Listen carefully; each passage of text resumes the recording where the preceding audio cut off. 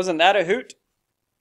All right, so the centrifugal effect and artificial gravity. You've heard probably the term centrifugal force, not centripetal force, centrifugal force. Uh, it's actually the effect of inertia. It, there is no such thing as centrifugal force. This effect produces artificial gravity in space. And that's what we're going to look at here. Misconception says, when I turn my car, I feel a force that pulls me to the outside of the circle. This is called the centrifugal force, and objects in the circle feel a force away from the center of the circle. Hold it! Mr. Wright says there is no centrifugal force because centrifugal force doesn't obey Newton's laws, as you saw in the video. Centrifugal effect is actually just the effect of inertia. So when you are in your friend's car and they make a quick left-hand turn and you're in the passenger seat and you hit your head, there is nothing pushing you to hit your head. Instead, the car is actually turning without you. Your head, because of its inertia, wants to stay still, so the window comes to you and it hits you. Here's the effect. Remember how inertia works. Inertia is an object's resistance to change motion. Suppose you have a heavy ball that's red and a light green ball that is in a car. Both balls can move around in the car without any frictional effects. In the following animations, we're going to see the car's motion change both from the Earth's reference frame and the reference frame of the car itself. Now, suppose the car speeds up from rest. The animation below shows the car speeding up both from the Earth frame of reference and the car frame of reference.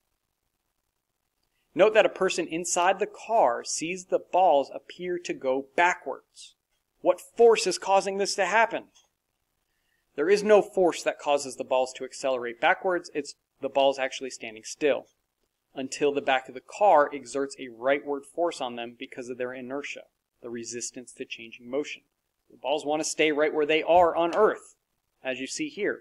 But they eventually uh, get dragged along as the back of the car reaches. So inertia is not a force. It's just an effect that has, that an accelerating person sees. If you're on a bus and you drop a pencil, that pencil apparently is going to go straight down.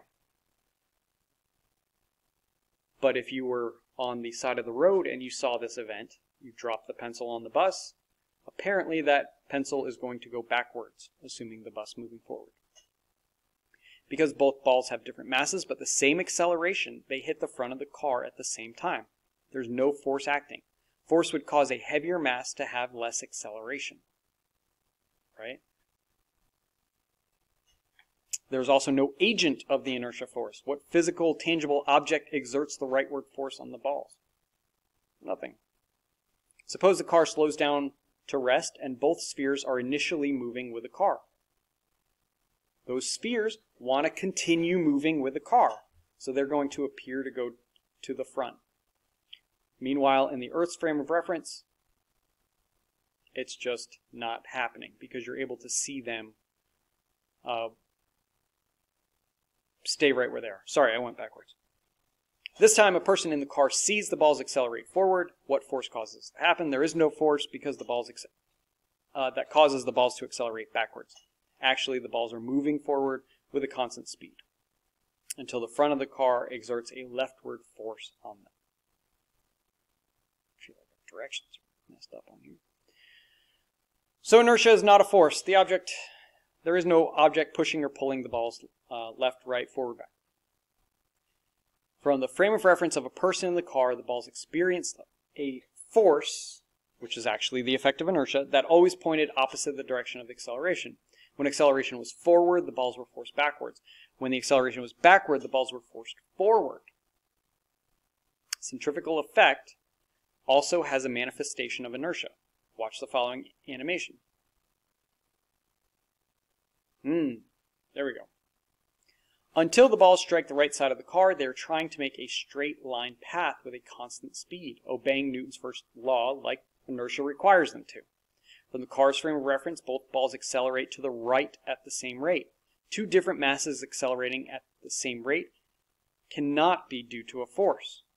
Remember, F equals mass times acceleration. If they're accelerating at the same rate, then the mass must be uh, the same. So the centrifugal force, the centrifugal effect is just the effect of inertia. Here's the same animation, but with the right side of the car removed. There they go. Note the balls don't get forced away from the center of the circle. Instead, they continue tangent to the circle, moving in a straight line with a constant speed.